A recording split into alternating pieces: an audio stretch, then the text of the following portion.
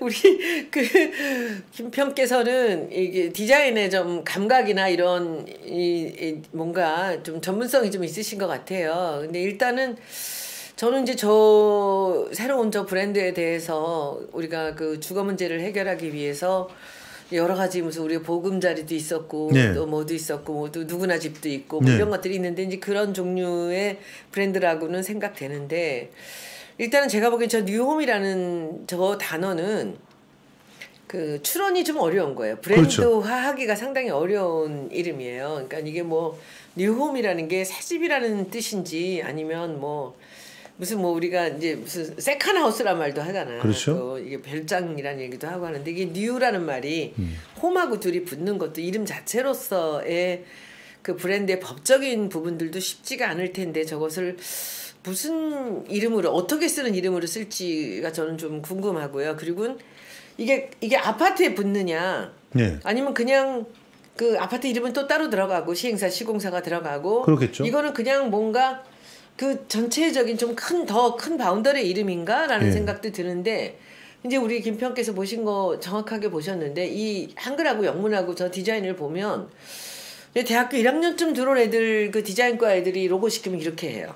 그러니까요. 이렇게 삑찍 늘려가면서 이게 항상 글자에서 이제 어려운 게 이 W자하고 M자예요. 음. W가 하고, 하고 M자가 두 개가 가로폭이 크기 때문에 다른 것들하고 어우러지면 상당히 어렵습니다. 네. 상대적으로 I자 같은 게 글자 가로폭이 좁기 때문에 네. I자가 좌우에 붙을 땐 글씨 공간이 많이 줄어들거든요. 그렇죠.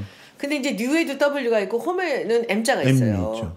그러니까 new에다가 저거를 하나는 직선으로 하고 하나는 사, 저기 사선을 만들면서 저것을 지- M자를 갖고 옆에다 저렇게 한 거예요. 예. 하나는 W 이렇게 쓰고 이제 뒤집어서 M을 썼는데 이렇게 해서는 안 되는 이제 결정적인 게 뭐냐면 이 옆에는 E가 왔고 저쪽에는 오른쪽에 E가 있고 왼쪽에 O가 있는 거예요. 그렇죠.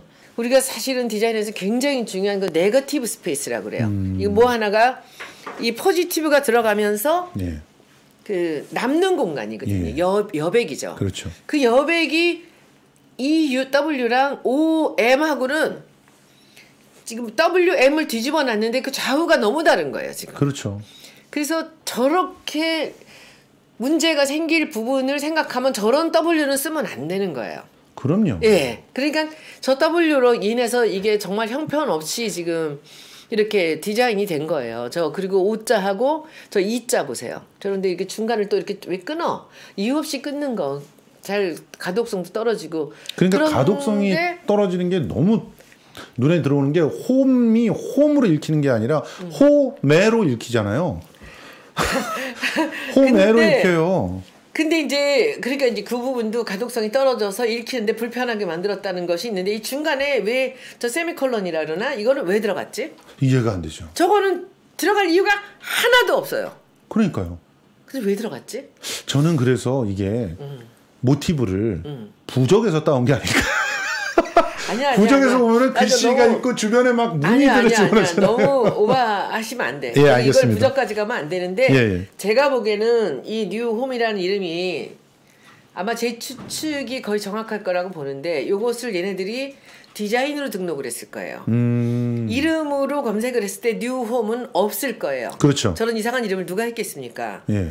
없는데 뉴홈이라는 거는 뉴도 그렇고 홈도 그렇고 너무 일반적이라서 등록이 안 될 가능성이 있어요. 예. 그래서 가운데다 기호랍시고 점을 찍어서 기호로 등록했을 가능성이 있어요. 아 전체를 묶어서. 예, 요거 요거 예. 뉴홈으로 그래서 예. 저쪽도 그러니까 뉴홈 한글이 일단 안 되거든요. 그러니까 그렇죠. 이것을 디자인 등록을 똑같은 뉴홈이 누구한테 없다면은 이것을 등록을 할 때 디자인 등록을 할 수는 있어요. 음. 이름은 등록이 안 돼도 그래서 점을 억지로 집어넣은 것 같고 음. 저쪽에다 또 억지로 집어넣는데 제가 보기에는 이제 김평께서 보신 거와 마찬가지로 저 디자인이 이제 영문에서 결정적인 이상한 문제가 일어나고 있거든요. 그렇죠. 그러니까 한글은 뭐 그냥 그저 그렇게 갔다고 하는데 저쪽에서 이 사람들 실력이 나온 거죠. 그러니까 예. 이게 지금은 이제 여러분들이 우리 그 탐정단들이 이제 나서서 이 누가 했는지 좀 알아봐 주세요. 이거 진짜. 로고 이름 누가 만들었는지 보면 또 말도 안 되는 또 이상한 사람들이 돈은 꽤 많이 들어가서 입찰을 또 67% 이따위로 받아가지고 네.